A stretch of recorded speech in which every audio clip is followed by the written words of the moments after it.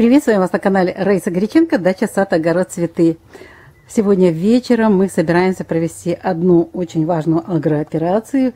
Перед этим мы будем обязательно поливать растения перед вот этим э, питательным раствором. Обязательно вообще все подкормки и защитные всякие мероприятия нужно проводить э, под полив. Поливаем и затем обрабатывать для того, чтобы не сжигать ни листья, ни цветочки. Итак, у нас идет завтра вход идет холодного циклона. Ночью обещают плюс 12, днем плюс 15-17. И для того, чтобы... Да, кстати, потом же идет резкий выход из этого. Поэтому мы, э, получается, 6 дней назад обрабатывали э, все растения э. До этого был трихофит. И мы от болезней спокойненько ушли. Но сейчас мы хотим э, подготовиться к этому новому холодному циклону и сразу же дать подкормочку нашим томатам.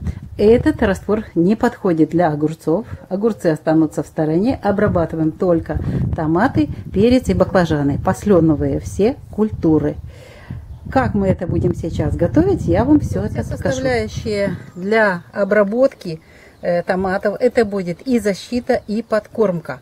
Э, я уже его делала, э, ну, лет пять мы делаем вот эти растворы. Это молочный коктейль называется. Для этого мне нужно молоко свежее. Если есть, просто на рынке очень удобно, оно дешевое, я поэтому беру свежее молоко. Далее пол-литра мне надо около, меньше полулитра, где-то чуть, потому что мы будем разводить сейчас э, борную кислоту. Нужна борная кислота, вот она обычно есть везде и всюду продается. Э, дальше йод, марганцовочка у меня вот такая и э, мочевина. И плюс подкормочка. Помидоры сейчас набираются плоды, наливаются плоды, нужен фосфор калий. И вот, вот эти э, составляющие мы готовим такой молочный коктейль. Для начала, значит, давайте сразу же скажу, сколько нужно э, бора. Это очень важная тема, потому что мы можем сжечь. А чтобы не сжечь, значит, я взвесила, у меня вот эта ложечка маленькая, кофейная. Мне нужно 1 грамм всего-навсего. Пожалуйста, внимательно, потому что у нас и подкормочка будет. Вот у меня 1 грамм я взвешивала, кофейная ложечка. Вот. И я сюда за, засыпаю 1 грамм борной кислоты. Засыпаем. И горячая водичка должна быть обязательно. Ну вот немножко для того, чтобы растворить борную кислоту. Горячая вода это где-то 50 градусов. Начинает в чайнике чуть-чуть шуметь. Если нету градусника, у меня нету градусника.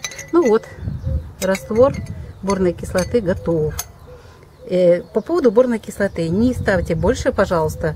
Это не потому, что у нас другие компоненты будут. И если у вас жарко в теплице, кстати, если очень высокая жара, можно даже меньше оставить борной кислоты, 0,5 граммов, то есть пол э, грамма вот, э, борной кислоты, потому что сгорят цветы. Я пробовала, я почему делаю? Потому что э, сейчас именно такое, бывает и больше.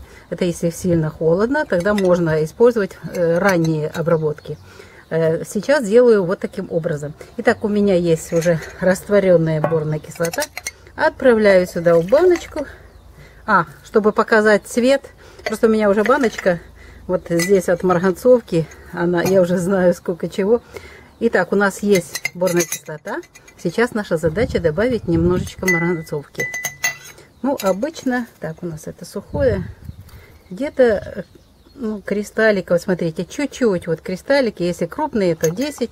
Сейчас покажу, какой цвет должен быть. Вот. Цвет, когда растворится, и не сильно темный, и не сильно светлый. Вот смотрите, растворяется, вот какой цвет получается. Еще не все кристаллы растворились. Вот, отлично. Пожалуйста, делайте в этой очередности, как я делаю. Это очень важно. Итак, у нас кислота в первую очередь борная. Теперь марганцовочку положили. Вот такой красивый цвет, видите? Вот он. Не темно, не светло. Теперь молочко. Это третий компонент, который мы сейчас будем заливать. Опа! Значит, я заливаю где-то э, около пол-литра вот по вот так. Потому что я сейчас еще буду добавлять йод и мочевину. Итак, у нас молочко здесь есть. Тоже перемешиваем. Обязательно нужно перемешивать. Перемешали, видите, какой цвет? Как будто бы кофе с молоком. Вот такое в детстве было кофе с молоком. Делали. Теперь, следующий компонент очень важный, это йод. Аптечный йод, обычный. Значит, сюда сейчас, в эту жару, э, ставим всего-навсего 15 капель. Э, у меня просто уже есть, нет, это много, я уже знаю, у меня меньше половины вот этой пробочки это 15 капель. Вот они, капельки сюда. Снова же хорошенько нужно все перемешать, перемешать, перемешать. Перемешали. Вот. Надо, чтобы ее тоже хорошенько растворился. Вот, чуть-чуть темнее стало. Ну и завершающий штрих, почти завершающий, это у нас мочевина. Берем ложку мочевины. Это подкормка, это и защита. То же самое. Вот, очень хорошо. Пока не растворится, мы не будем завершающий добавлять компонент. Все, не звенит. Еще фосфор калий я хочу сразу же добавить.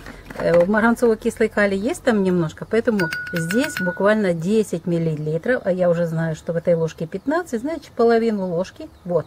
Добавляю сюда еще вот этого комплексного органического удобрения фосфор калий. Для плодообразования шикарно. Можно чисто калий, но никаких других вот этих смесей с кислотами различными. Вот такой последовательности сделали вот такой раствор. Причем делаем этот раствор и его сразу же готовим и сразу же э, сейчас в ведро заливаем и обрабатываем растения. Ну что, оно хорошо растворилось. Теперь беру 9,5 литра, литра воды. Температура воды очень важна. Не горячая, не холодная.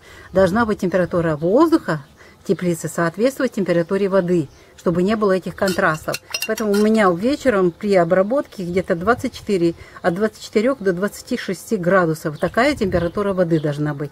И потихонечку заливаю 9,5 литра воды. У меня общей сложности получается 10 литров вот этого раствора. Я думаю, что минуточку перемешаем и опрыскиваем. Хорошо нужно опрыскивать, но не должно стекать с листьев. Мы это будем делать вечером. Снимаем заранее видео. Я эту, этот раствор использую под корень. Уже тоже вечером, потому что сейчас обрабатывать теплице очень жарко. Там за 30 градусов, где-то 37 градусов при сквозняке.